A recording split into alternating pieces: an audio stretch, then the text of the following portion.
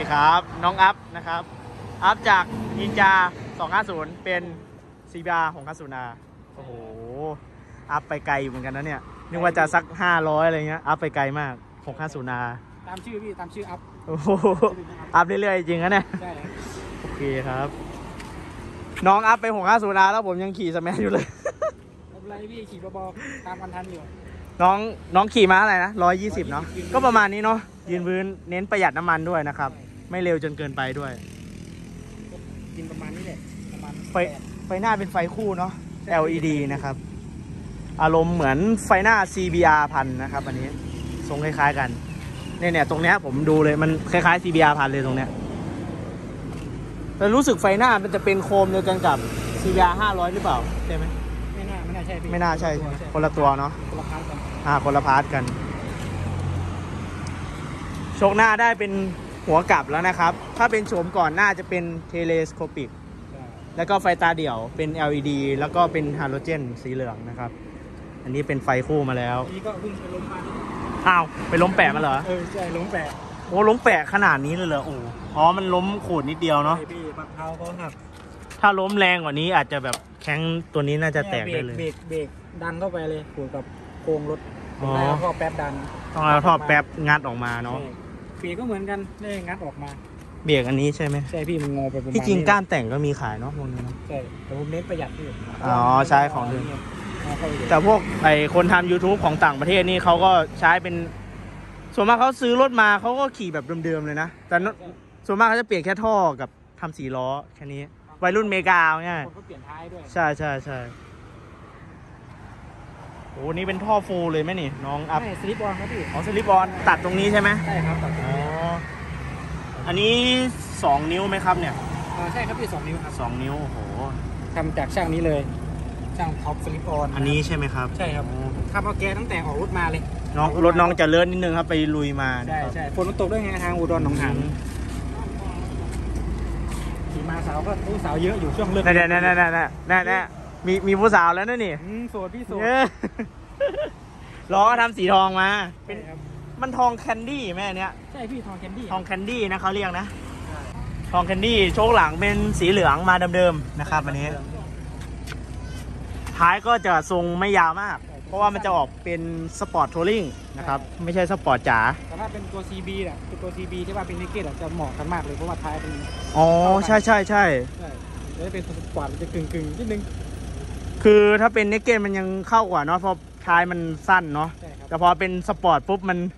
เหมือนข้างหน้าจะยาวกว่าใช่ยาวกว่า อ่าเหมือนจะยังไม่สมดุลมาก เดี๋ยวเราค่อยไปเปลี่ยนเป็นท้าย CBR พันเอานะครับ ของพี่อะไรนะ พี่หน่อยสู้เออ พี่หน่อยโซตึงนี่แกทำอะไรมาสุดยอดมากนะครับ พูดดีงานเดียวล่าสุดเห็นทำเป็นเฟรมหลอกตรงนี้ก็มีใช่เนาะแล้วก็เป็นครอบสวิงอาร์มให้เหมือน CBR พันก็มีด้านหน้า ด้านหน้าแกทำอันนี้มาด้วยนะ ถ้าจะไม่ผิดนะของพี่หน่อยนะ จะเป็นคล้ายๆวิงเลดอ่าเป็นวิงเลดออกมา ใช่ แล้วก็ข้างหน้านี่ก็ครอบไปอีกให้เหมือน CBR พันก็ได้ ใส่ชิวของซีแบพันธุ์แท้ได้ใช่ใช่เห็นแกทำโอ้โหสุดยอดมากเอ้าที่ล็อกคิวก็ถือว่าโอเคนะเออเนี่ยเงียนอยู่พี่เนียนเลยนะ ผมซื้อมาอืมหน้าได้ 400 กว่าบาทแถมที่หุ้มเกียร์มาด้วยอืมสองอันนะ ใช่พี่มีชิลกับที่หุ้มเกียร์ใช่ชิลเป็น ผมอะไรไม่รู้เป็นสโมกหรือเปล่าเขาเรียกสโมกเนาะใช่ก็สวยอยู่ได้ที่หุ้มเกียร์มาด้วยหุ้มเกียร์นะครับ ผมงมใส่อยู่ประมาณหนึ่งชั่วโมงได้ มันมีวิธีคือเขาว่าให้เอาน้ำมันชะโลมก่อนใช่ไหมถ้าจะไม่แต่ผิดผมไม่เอาน้ำมันเลยไม่ดันเอาดันไม่ได้ถ้าแบบนั้นมันจะไม่ได้ยากมากเอาเข้ายากใช่ต้องได้ทาน้ำมันใส่ก่อน น้ำมันพืชก็ได้รอเลื่อนนะพี่ใช่หล่อลื่นก่อนแล้วค่อยเอาเข้าไปใช่เดี๋ยวเดี๋ยวเดี๋ยวทามนแปลกๆนะแล้วก็ มีการหม้อน้ำด้วยกาดหม้อน้ำใช่ไหม อยู่ข้างในนู่นอ่าเดี๋ยวพี่ไปดูฝั่งนี้ เป็นรุ่นเลยโอ้เออสวยมันไม่มีโฟมมาให้ผมก็เลยเอาสกอตไบรท์ยันให้มันไม่มีเสียง อ๋อมันสั่นเนาะ ใช่มันจะสั่นนะ เวลาเราใส่กาดหม้อน้ำ มันจะสั่นถูกับตัวหม้อน้ำนิดนึงใช่คือมีสิทธิ์ทำให้หม้อน้ำแตกใช่ใช่หม้อน้ำแตกหรือรั่วได้เลยนะ อ๋อ นี่คือเอาฟองน้ำมา กันไว้ตรงนี้เนาะใช่พี่สกอตไบรท์และที่ล้างจานนี่แหละอ๋อสกอตไบรท์อันเนี้ยสูตรไหนเนี่ยเกี่ยวอีหลีมาตัวกลางเหมือนจะเริ่มตันแล้วด้วยนะนิดนึงใช่ต้องต้องต้องล้างกับฉีดแล้วอ๋อเพราะว่าแกห็นหลายคนชาร์จอะไรก็เพราะหม้อน้ำนี่แหละหม้อน้ำมันตันเนาะใช่ตันแล้วมันก็ตามนี้ครับ CBR ของค่าสูน R ก็เป็น 4 สูบเรียงนะครับ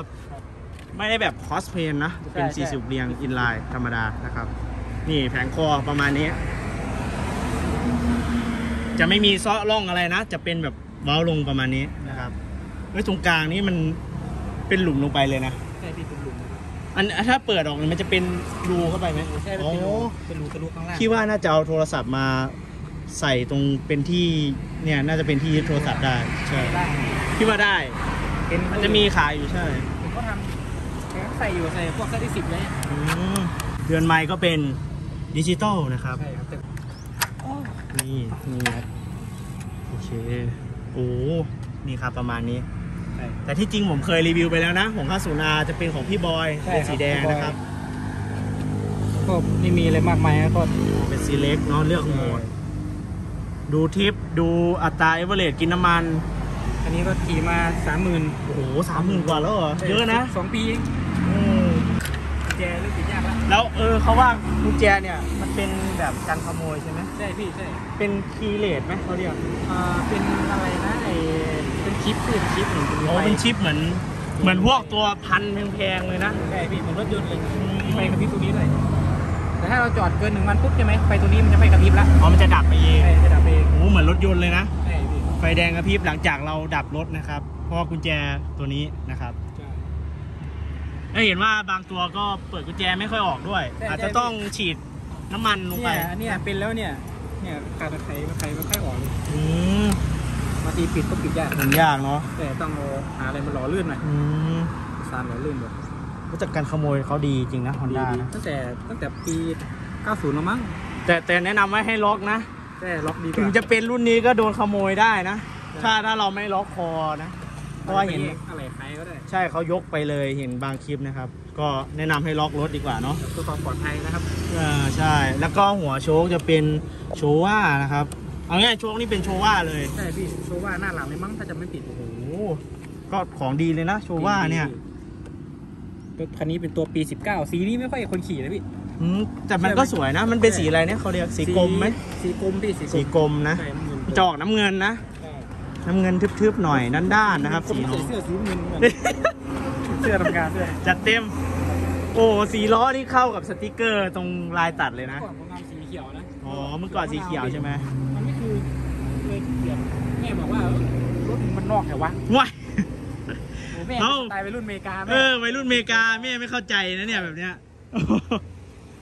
เดี๋ยวๆอันนี้สติกเกอร์ของกลุ่มไหนบ้างเนี่ย อันนี้กลุ่มของท่าสูงครับเพราะว่าอันนี้ก็ ของรุ่นพี่ที่ว่าเพิ่งขายมาล่ามาละมาล่าอยู่อุดรเนาะ ใช่ครับอืมวัยรุ่นอุดรครับดูครับ อันนี้ก็เป็นกลุ่มใหญ่พี่กลุ่มอ่า ใหญ่เลยเด้อ PBR แก ที่หมีแกทำอะไรวะน่าจะขายพวกอันนั้นสเต็กนะสเต็กครับอ๋อใช่ใช่แกขายสเต็กนะ ใช่มีพวกโดนล่าสุดแกก็ออก CBR พัน SP ใช่ครับใช่ใช่เมื่อก่อนแกขับแค่แปดร้อยเซตแปดร้อยแกก็เคยเห็นอยู่ครับอันนั้น สวยอยู่นะแกแต่ง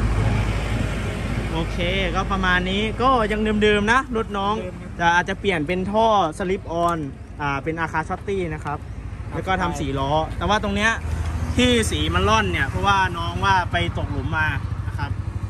ก็เลยได้ส่งร้านดัดใช่ไหมใช่ครับใช่คือล้อล้อเดิมมันสามารถซ่อมได้เนอะน้องอัพซ่อมเนอะได้พี่ถ้ามันไม่แตกอืไม่มหักมาก ก็คือดุ้งนิดหน่อยนี่ไม่เป็นไร สามารถใช่ เอาไปดัดซ่อมได้แต่อาจจะต้องใช้ไฟเป่าแล้วก็เพื่อจะดัดอะไรอย่างงี้ใช่นะแล้ควรับ ก็พ่อพ่อแล้วก็ อือ่ามกึ่งกึ่งก็เดี๋ยวค่อยทำสีเอาเนาะมันค่อยๆมัเก็บงานไป มันถือว่าไม่ยากนะทำสีล้อ แต่อาจจะต้องว่างหน่อยสักวันหนึ่งมีความอดทนด้วย ใช่ต้องมีความอดทนใจเย็น ในการขัด เออ หรือถ้าว่าไม่ซีเรียสก็น้ำยาลอกสีจุ่มเลย ใช่